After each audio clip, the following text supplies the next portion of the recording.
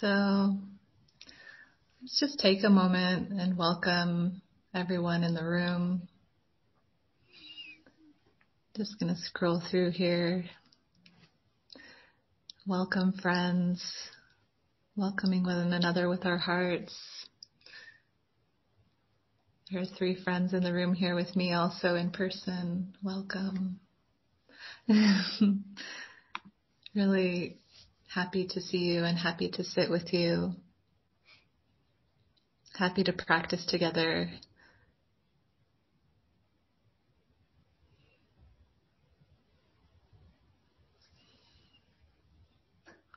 Happy to come together and cultivate this beautiful quality of heart our metta, our loving kindness.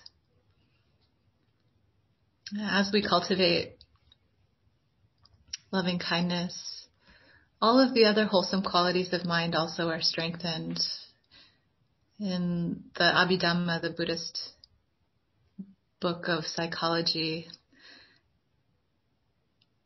wholesome qualities of mind, the beautiful qualities of mind all co-arise together. So as we strengthen our loving kindness, we strengthen our generosity, we strengthen our mindfulness, we strengthen our tranquility, we tra- strengthen our equanimity,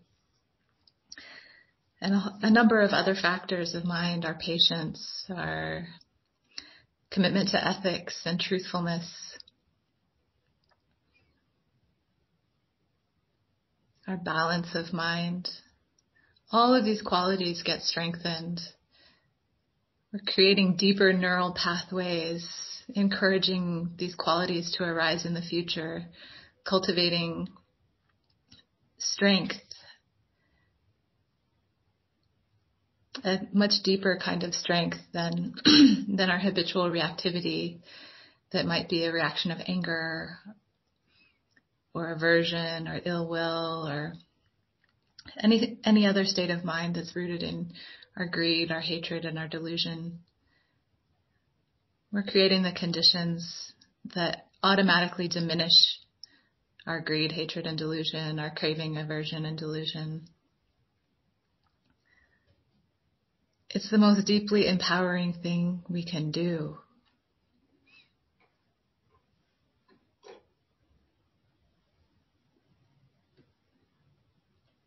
cultivating these qualities of mind shapes our experience in the world, shapes how we respond to stimulus, to things that we hear, things that we see, pleasant or unpleasant, contact on the body, physical sensations, taste and touch. As we cultivate this, as we practice these mind states again and again. They increase, they increasingly become automatic responses where previously we might react to a stimulus with aversion, irritation, hatred. We create the conditions for ease, for our kindness, for our care, for our compassion. The Buddha taught, this is one of the phrases from the Dhammapada, what, what we think about and ponder upon becomes the inclination of the mind. All of these arisings in our mind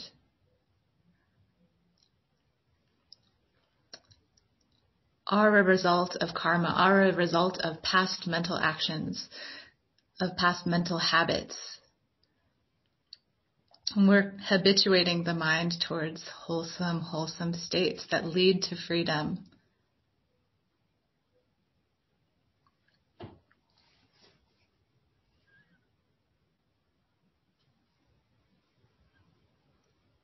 The Buddha also taught in the Dhammapada not to fixate and ponder upon the deeds and misdeeds of others, but, but, but what you yourself have done and left undone. And as we do a practice like this, doing practices that create wholesome states, very often we get to see what we have left undone, what we,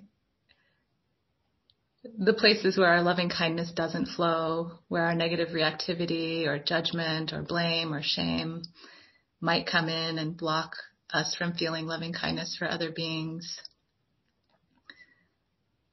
And at this time in the world where there's such heightened trauma and reactivity and pain, all these different circumstances, violence, disease, this cultivation is one of the best things we can do.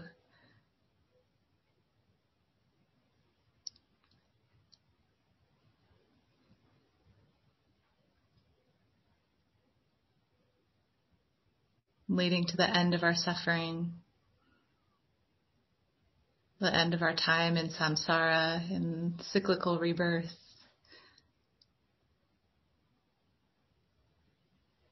leading to the end of our craving and clinging that is our suffering.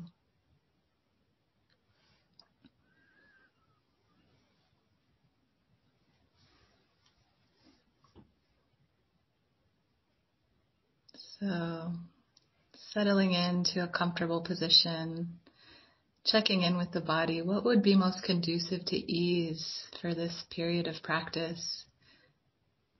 Laying down, sitting,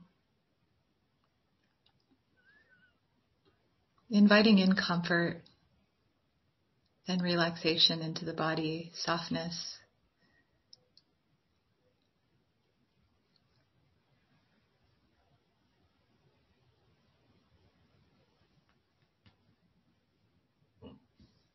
Inviting in comfort and openness.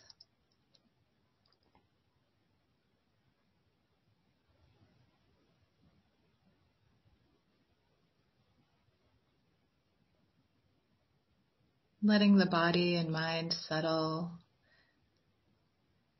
taking in a deep, full breath, and relaxing on the exhale, long, full exhale. And another deep, full breath in, breathing through the whole body and relaxing a little deeper on the exhale, softening letting any tension release. Another deep, full breath in. And relaxing and softening on the exhale. Inviting the forehead, the brow to be soft and relaxed. The neck and the shoulders to drop or hang loose.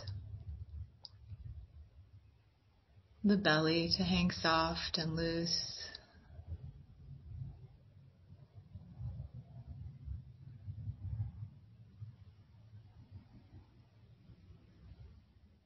Letting the breath become natural.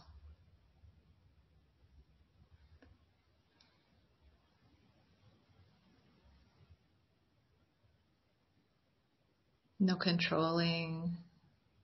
Just ease, inviting in acceptance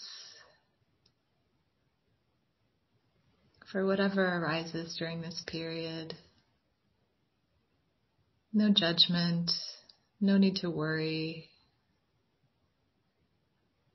Just being here in this body, cultivating this beautiful quality of heart.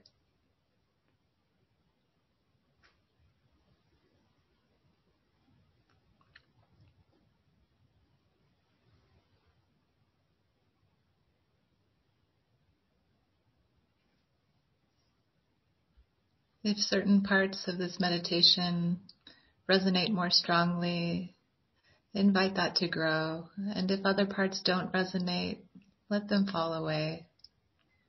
I'll offer both visualization and phrases.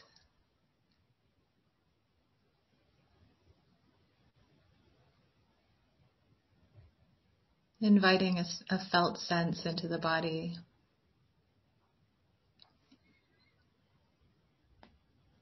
Tuning into the heart center, the center of the chest. Inviting a light to arise like a warm glow emanating from the heart. This is the energy of kindness, ease, letting this warm glow grow brighter and radiate through the body.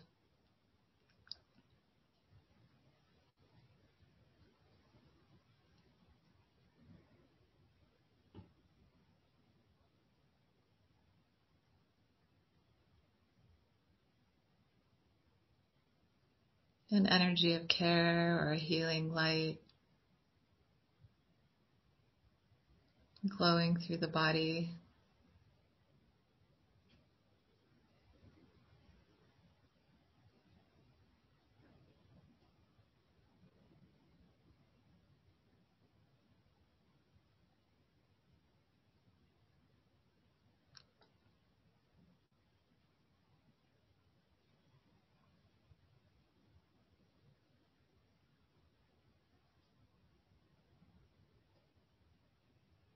Letting this light grow brighter, illuminating every part of the body, shining through the bones, through the blood.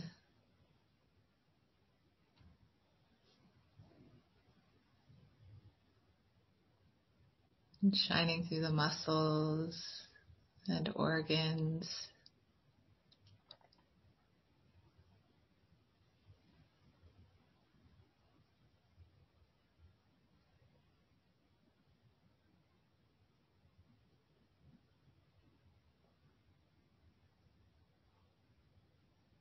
Shining through all the tissues.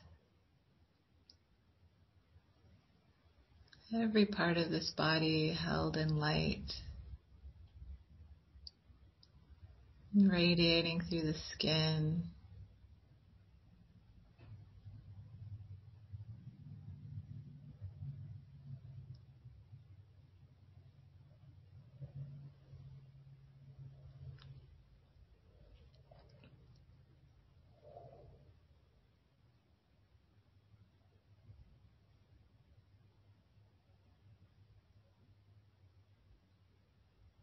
Letting this light grow brighter, illuminating every cell,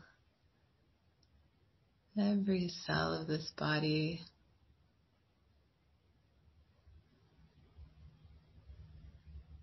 Illuminated.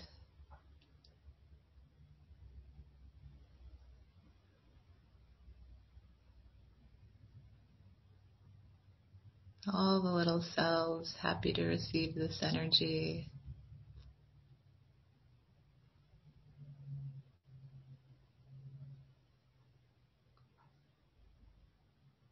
If there's anywhere in the body where there's pain or tension, in any place that we've judged or have aversion to, or dislike or hold in shame, inviting the light to shine there, inviting this warm glow.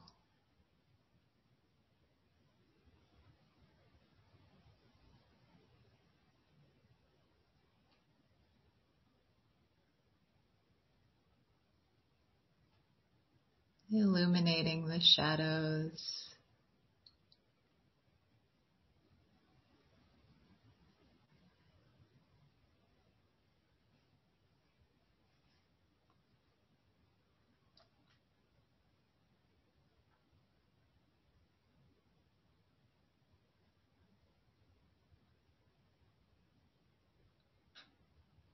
Holding every part with kindness.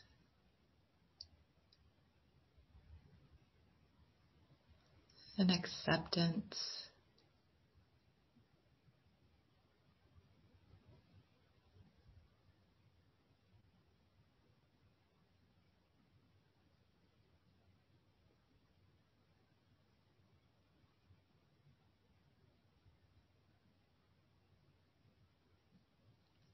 Illuminating the entire mind space.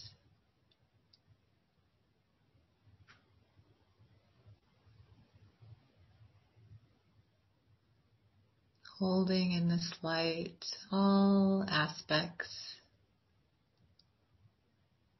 of this being. this mind body process unfolding according to conditions.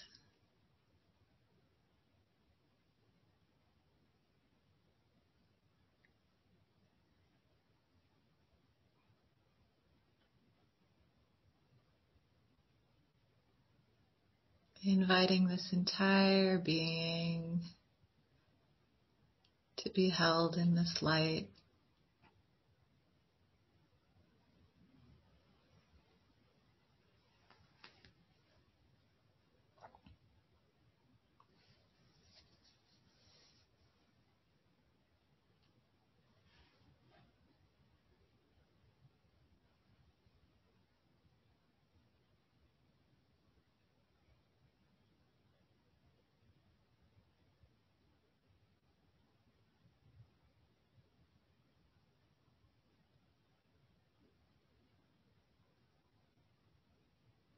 Radiant energy emanating from the heart.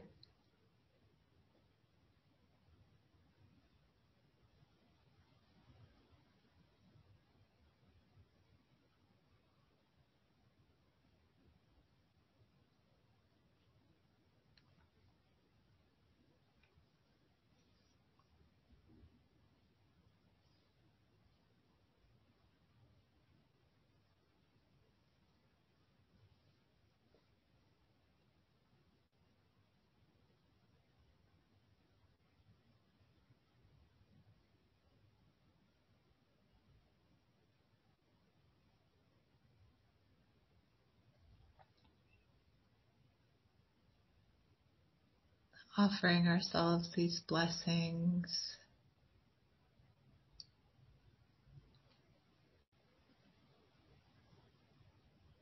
Or any other blessings that resonate with your heart. May I be peaceful and joyful.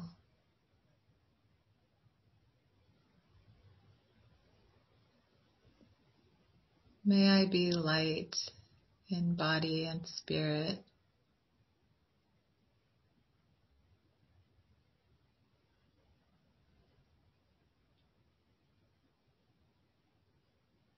the light can grow brighter with each phrase. May I be safe and protected.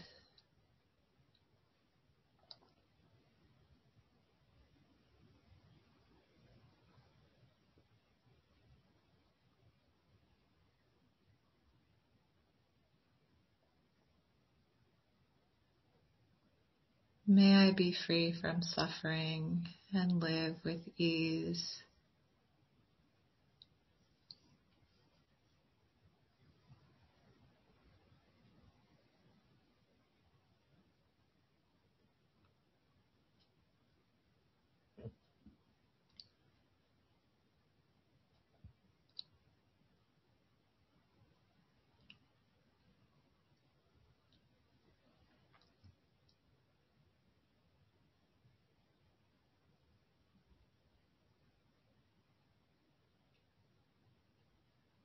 What might it feel like to accept myself completely?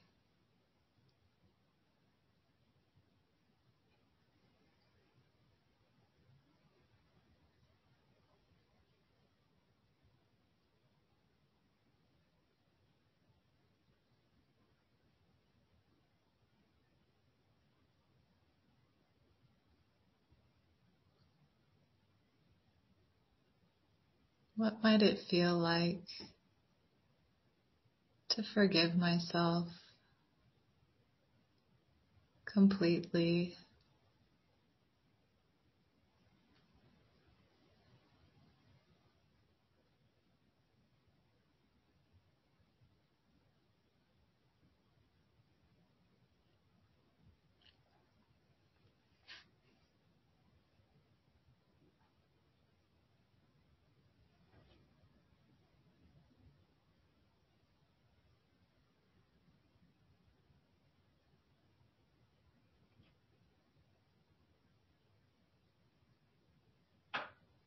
What might it feel like to love myself?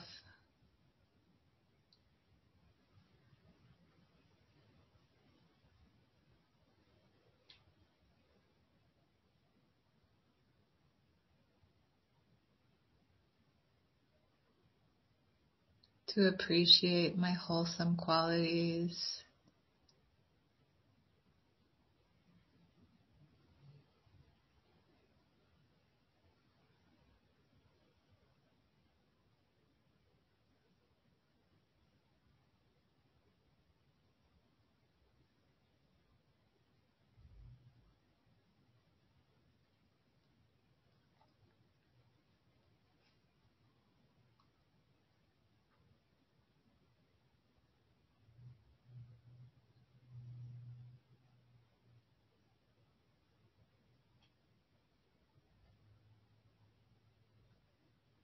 To offer myself the care that I offer others.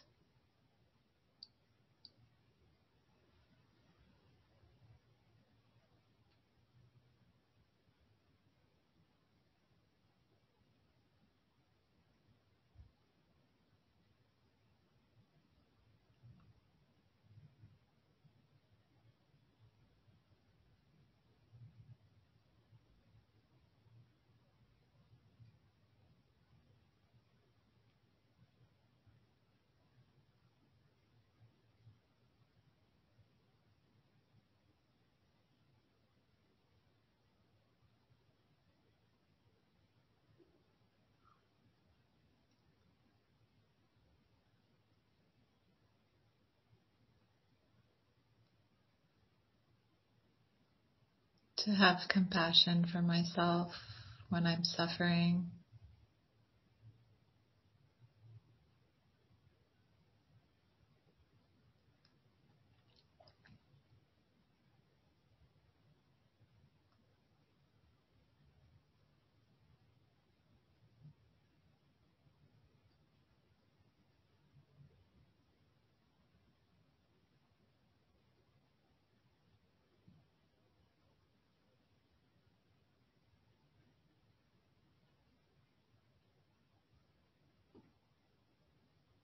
What might it feel like to be free of blaming and shaming myself?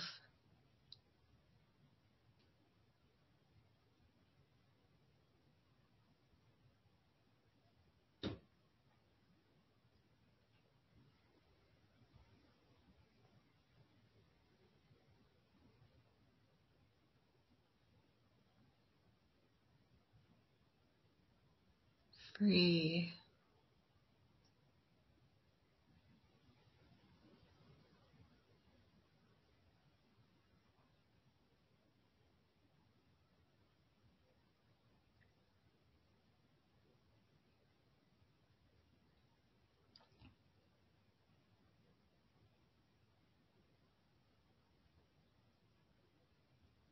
to be free of blaming and shaming others.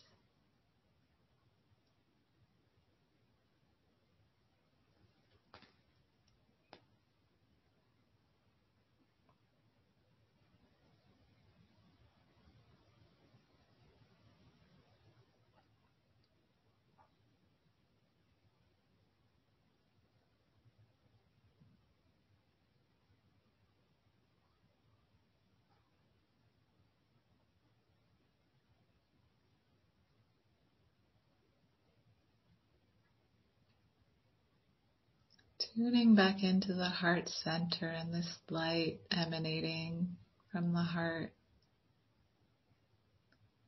This warm glow permeating the whole body, the whole mind. This relaxing and easeful energy flowing through this whole being.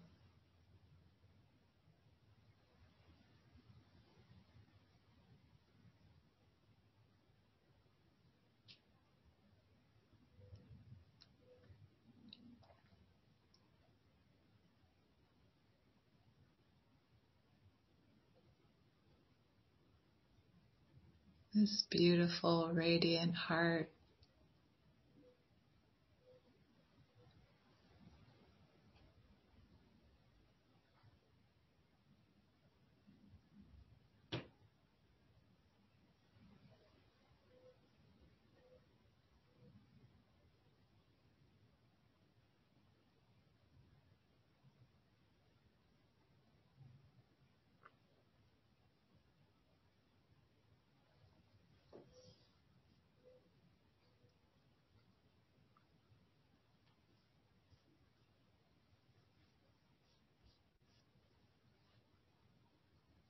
Inviting this light to grow brighter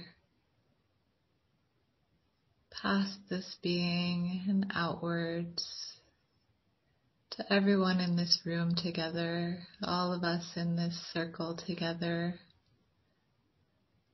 our dear friends on the path.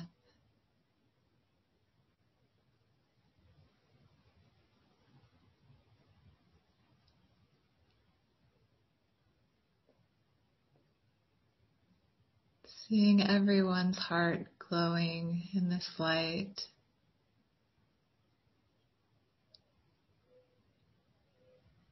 At ease. Maybe gently smiling as they receive this kind energy.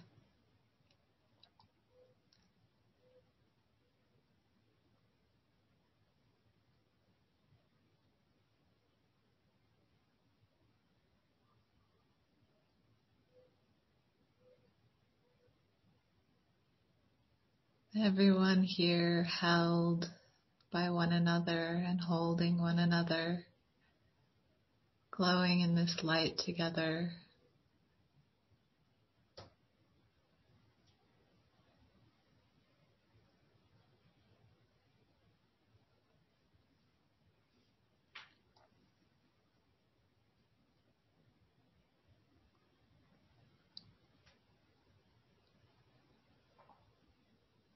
Sending our loving kindness to Anne, to Ashan and Henry, to Rabbit and Adrian. May you be well. To Andy and Bobby. To Brent and Canyon Sam.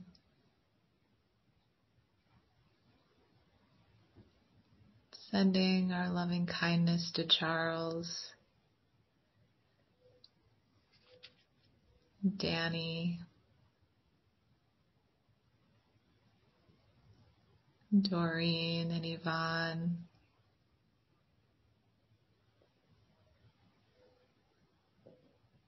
To Dusty. May you be free. Our dear friends, to Elisa, Erica, Eve,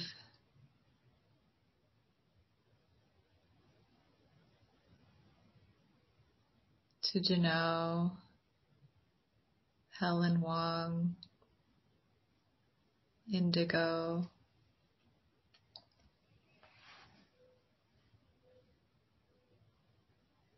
to Ismalia, Jasmine. May you be free. To Jillian and Doug. To Jocelyn and Keiko.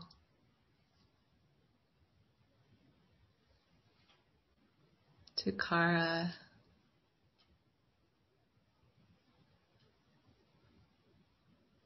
May you be well.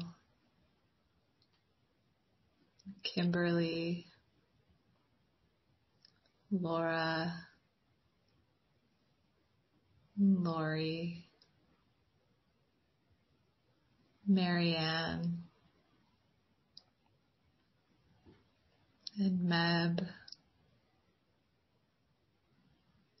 May you be at peace in your heart, friends, to Parisa, Phoenix, Q,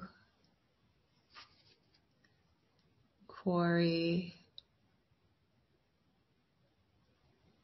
to Rachel, Rosemary, Texta, uh, may you be happy. to Therese, Truman, Angel and Cotton.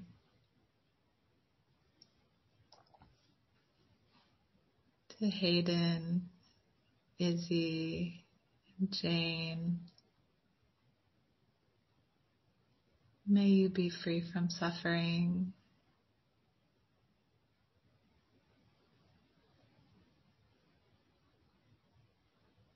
Dear friends,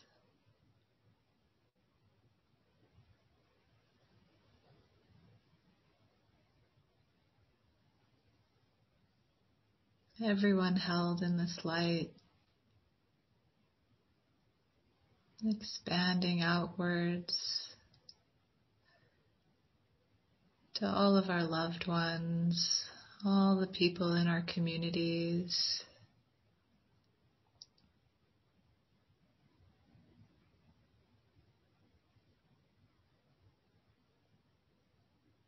To everyone who's struggling, everyone in fear, everyone in grief. Sending out this love.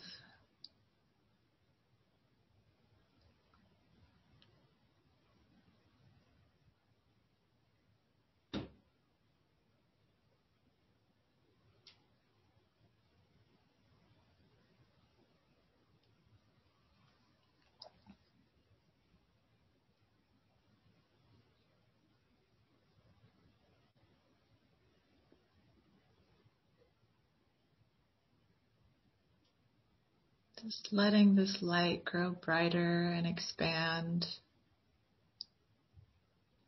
in all directions.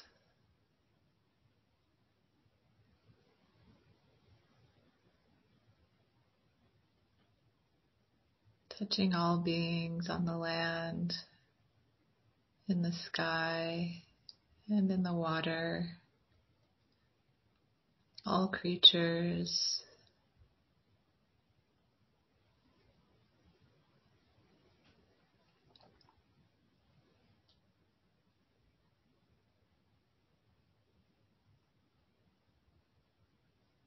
To all beings who are suffering and who will suffer.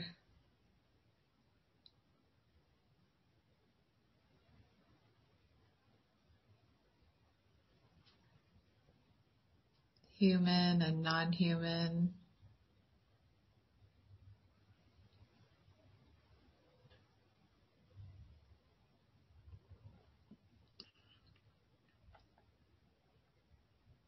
All those beings who are oppressed or receiving harm, and all those beings who are causing harm and oppressing.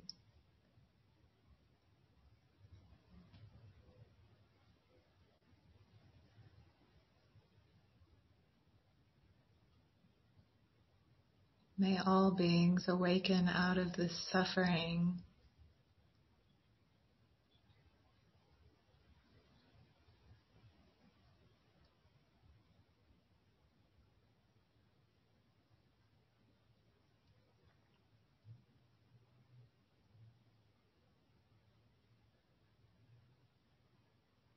As I wish not to suffer, may all beings not suffer.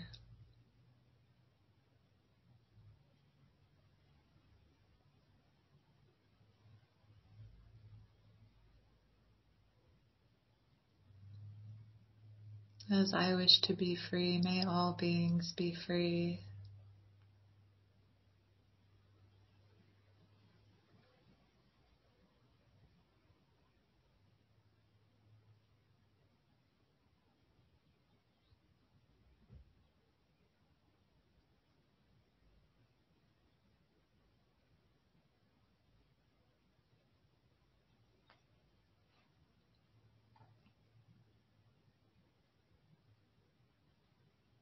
Holding the whole world in this light.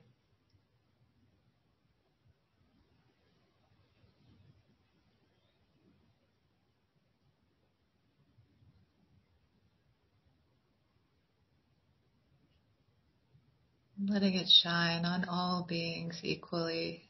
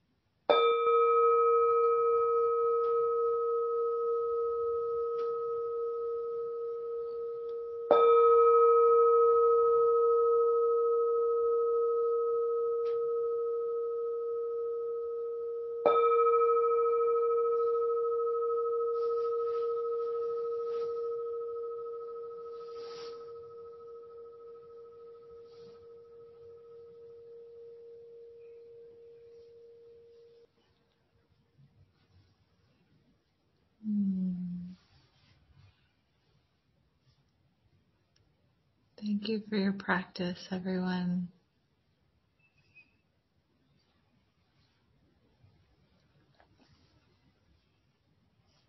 Let's take two or three minutes, do a little stretching, drink water, let that settle in.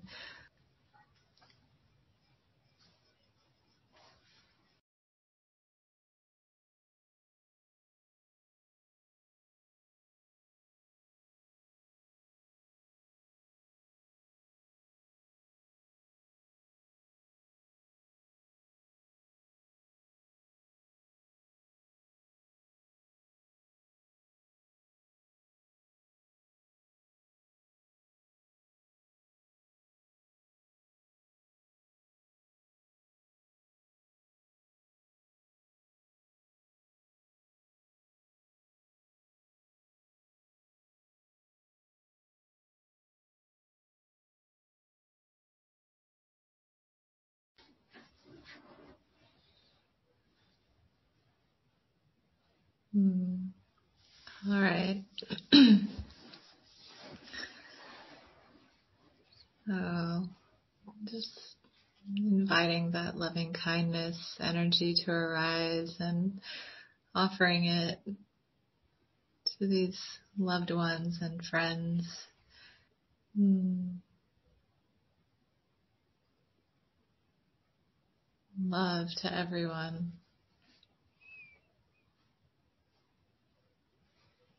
Compassion and kindness for everyone.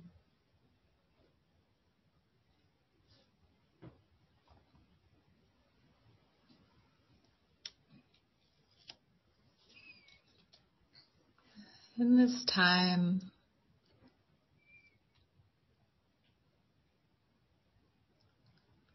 where so many are struggling, so many are shaken,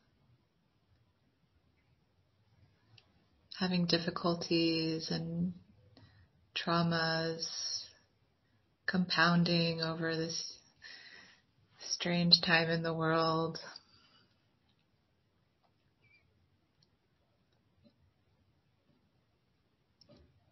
There's a lot happening, a lot of hmm, polarization, increasing polarization, antagonism, hostility,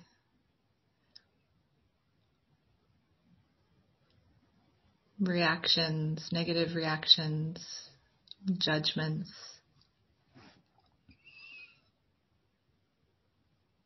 On all different levels.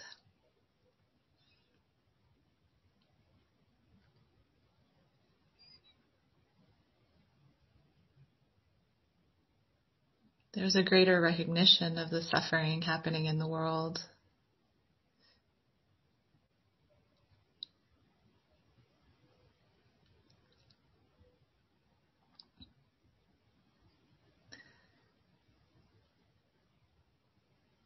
And the Buddha's invitation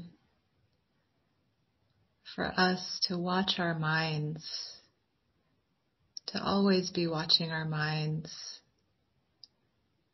to try to bring mindful, kind, loving awareness to every moment of every day.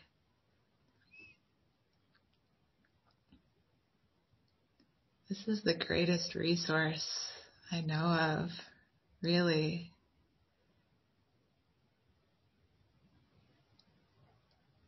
This is hmm, the Buddha's final words right before he died, right before he entered parinibbana, uh, nirvana. Uh, his last words were actually the words that throughout the recorded discourses of his teachings he said the most often. They were appamadena sampadeta and it's translated in various ways. But the, let's see, some people translate it as strive with diligence, uh, referring to putting effort into being continually aware of what is happening in our mind, how our mind is responding and reacting moment to moment to moment to moment to different stimulus, what the mind is fixated on, becoming aware of it, becoming aware of what the mind's attitude is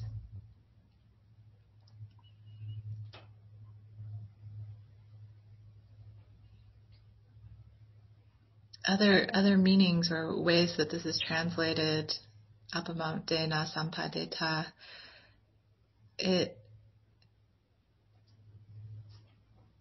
it's also like vivid, clear awareness leads one to success. Success, not being conventional worldly success, but meaning freedom, meaning liberation our clear, vivid, kind awareness.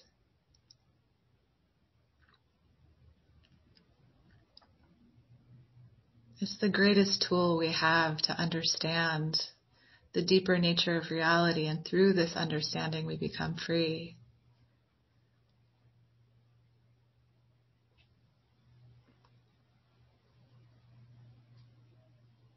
We are living here in samsara in this realm where suffering is inherent, where the nature of everything is impermanent, impersonal, and unsatisfactory or stressful. These are inherent in life in samsara. In one sutta, the Buddha talks about how through all these infinite lives in our wandering in samsara, we've cried more tears than fill all the oceans on earth. How much we've grieved, how much we've suffered.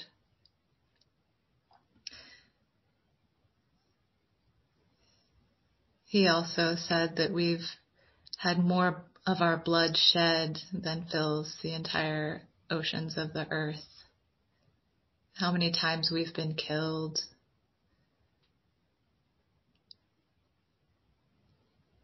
Or died, had our blood spilled.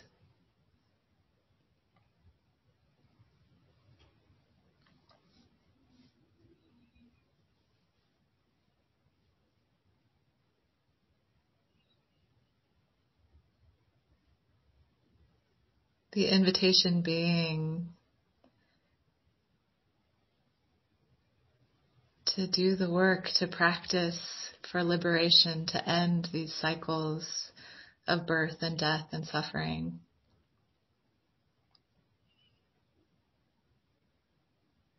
To see how our mind is creating this reality, how our mind is creating our experiences and to be empowered in the deepest way, engaging most fully with our agency to shape our reality, to shape our experience, to direct ourselves towards more happiness, more freedom, more ease.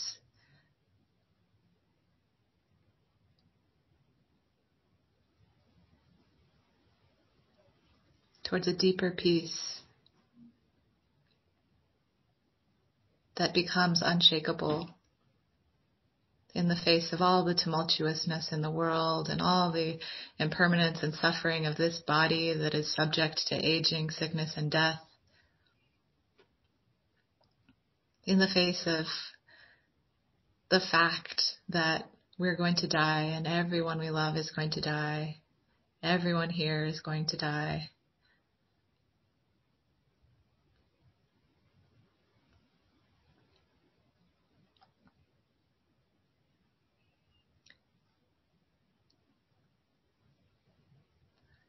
And letting this reality motivate us.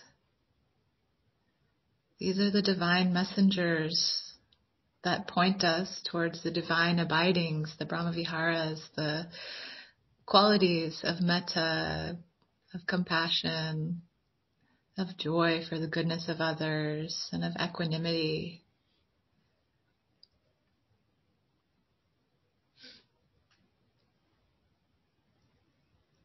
With this understanding that our actions of body, speech, and mind, especially mind, create the conditions for our future suffering or our future freedom.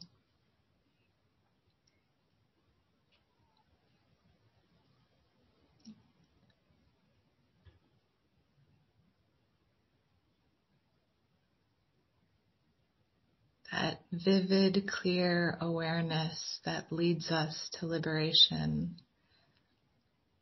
moment to moment throughout the day, not just when we come to sit sit down and do formal meditation sitting practice, but all moments, all possible moments.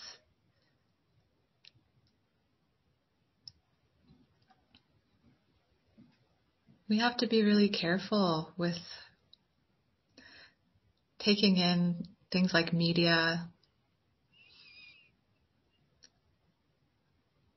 watching how it affects our minds. Watch how our mind is reacting to a stimulus not just being lost in this story or that story, but recognize how we're being affected.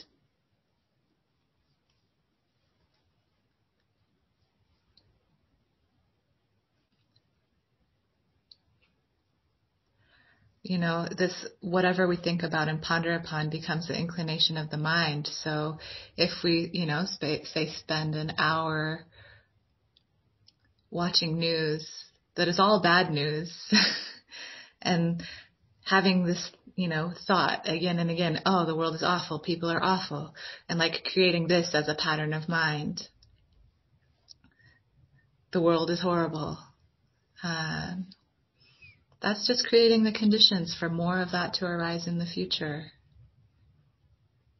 These thoughts that we think again and again become embedded as beliefs.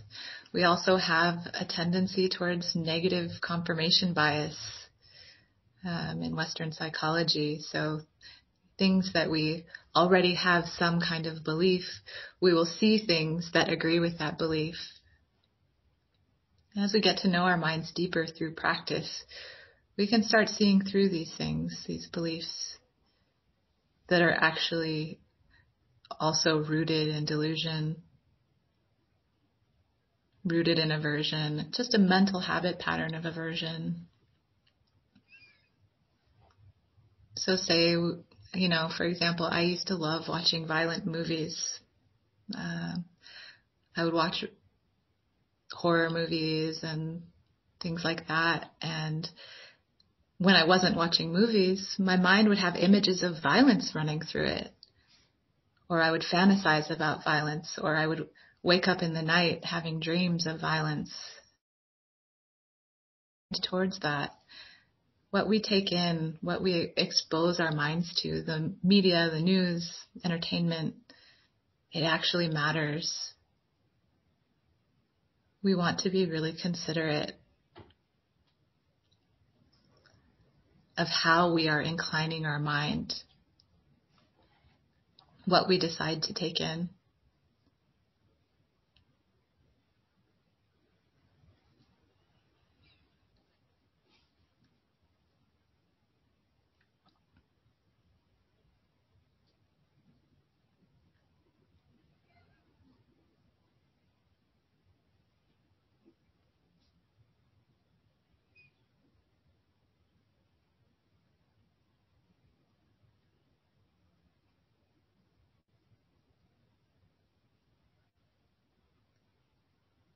Another thing that's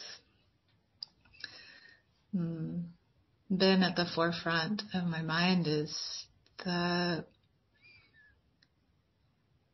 with the way that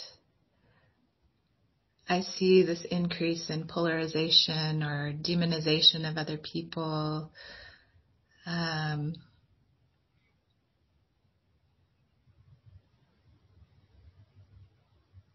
the reactivity and hatred or fear.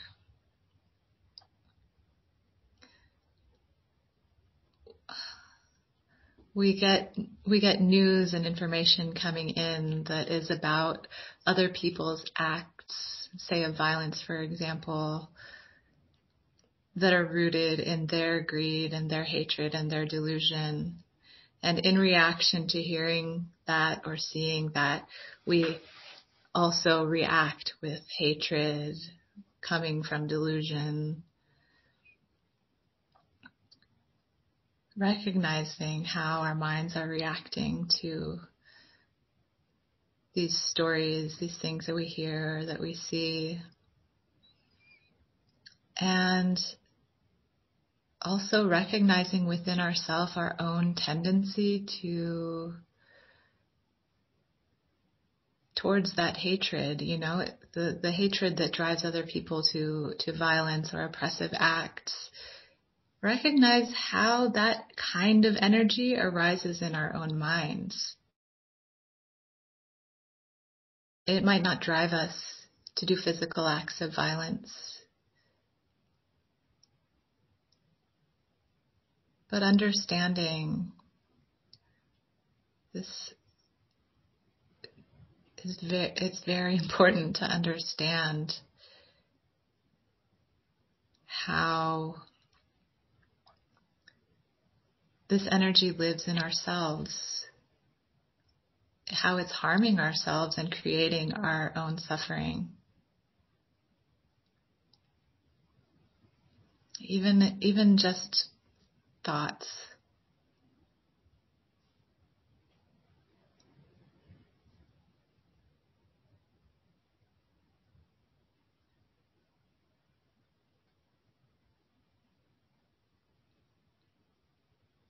And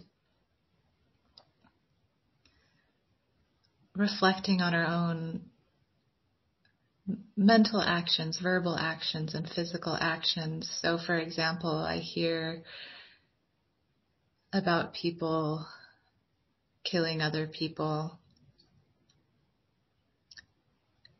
And understanding that that is wrong and also reflecting on my own actions. When have I killed living beings? What living beings have I killed in my life? What lives have I taken? Sure, I haven't taken a human life. All the creatures, small creatures that up until I found the Dharma, I thought it would be good if I smashed that fly. I took a life that wasn't mine. I took the life of beings that wanted to live.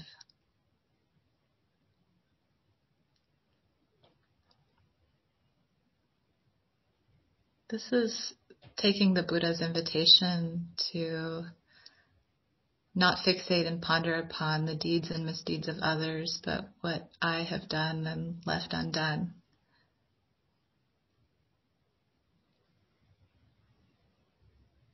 And reflecting wisely, reorienting my behavior. I will never take another being's life intentionally.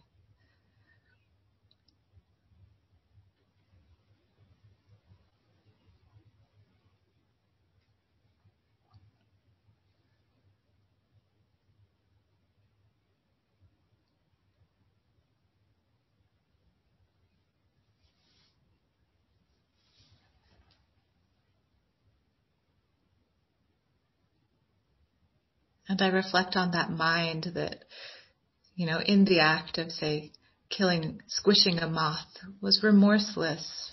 was compassionless.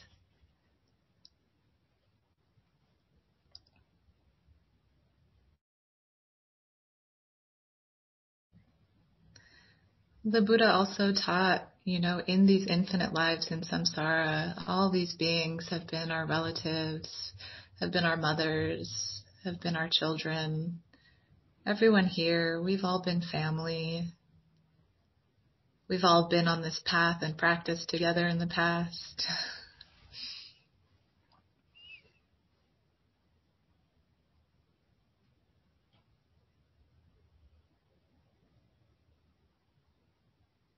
all these beings in all their forms, they are our family.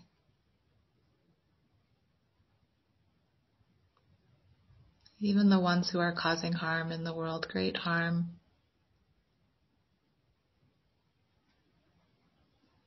Out of ignorance, they are also harming themselves and will suffer greatly in the future as a result.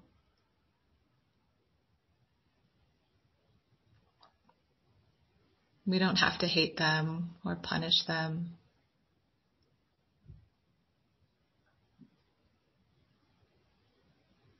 We don't have to wish for them to suffer. That's just our own suffering.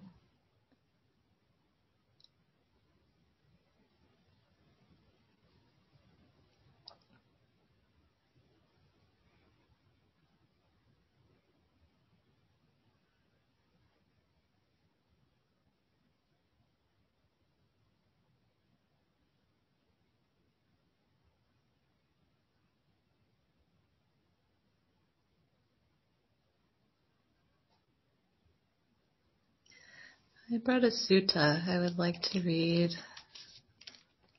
a little bit of. It's from a collection of the Buddha's teachings called the Majjhima Nikaya.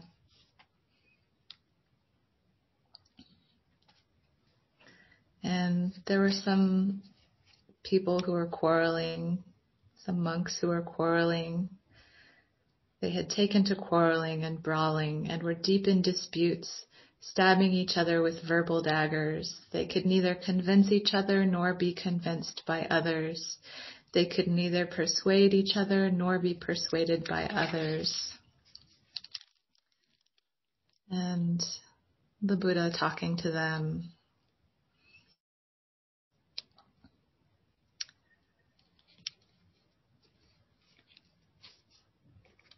saying on this occasion where they're deep in disputes, stabbing each other with the verbal daggers, on that occasion you do not maintain acts of loving kindness by body, speech, and mind, in public and in private towards your companions in the holy life. Misguided men, what can you possibly know? What can you see that you take to quarreling and brawling and are deep in disputes? Misguided men, that will lead to your harm and suffering for a long time. There are these six memorable qualities that create love and respect and conduce to helpfulness, to non-dispute, to concord, and to unity. What are the six? Here, one maintains bodily acts of loving kindness both in public and in private towards his companions in the holy life. One maintains verbal acts of loving kindness, mental acts of loving kindness. One uses things in common with his companions in the holy life without making reservations. One shares them, any gain, including even the contents of his bowl. So sharing. Bodily, verbal, mental acts of loving kindness and sharing even the contents of his bowl. One dwells both in public and in private, possessing in common with his companions in the holy life those virtues that are unbroken, untorn, unblotched, unmottled, unmottled, liberating, commended by the wise, not misapprehended, and conducive to concentration. This too is a memorable quality that creates love and respect. One dwells with a view that is noble and emancipating and leads one who practices in accordance with it to the complete destruction of suffering. Of these six qualities, the highest and most comprehensive, the most conducive is this view, this understanding that is noble and emancipating and leads the one who practices in accordance with it to the complete destruction of suffering.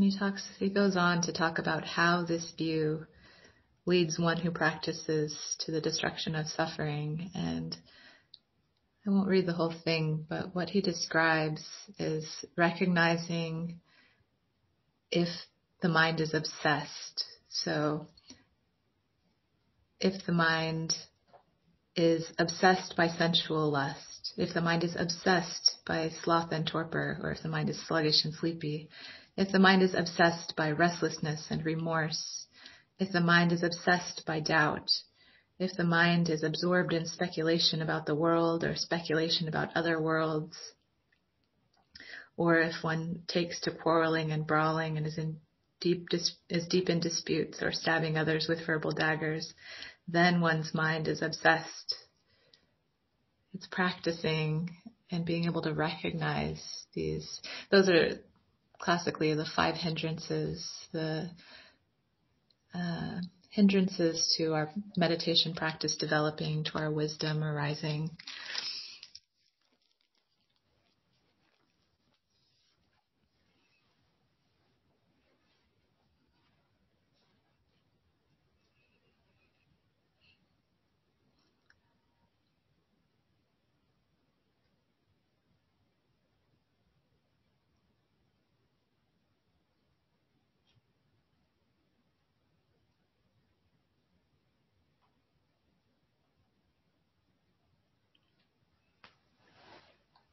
So cultivating our loving kindness,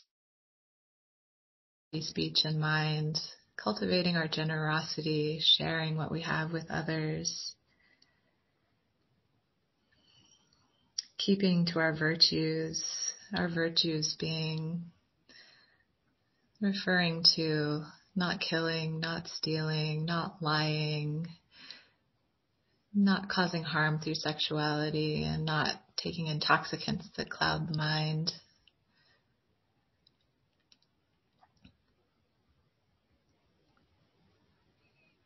And then having this right view, this noble view that brings us to practice, that motivates us towards cultivating this clear, vivid knowing moment to moment to moment to moment what's happening in this mind, what's happening in this body.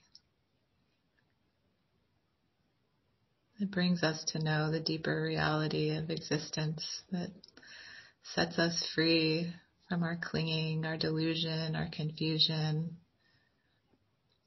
our greed, and our hatred.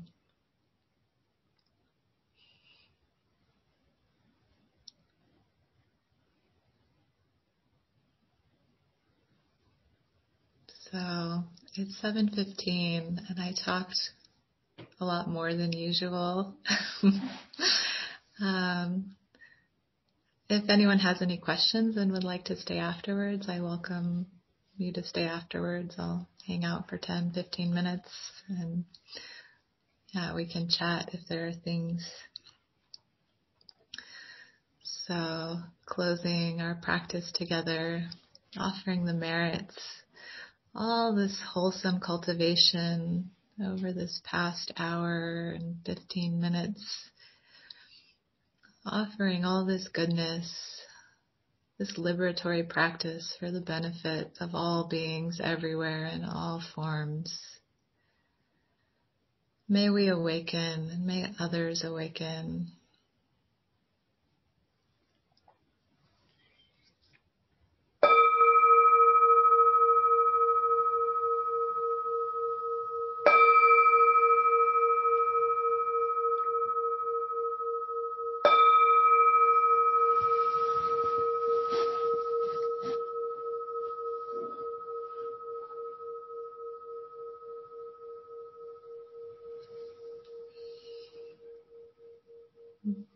Sadhu, sadhu, sadhu.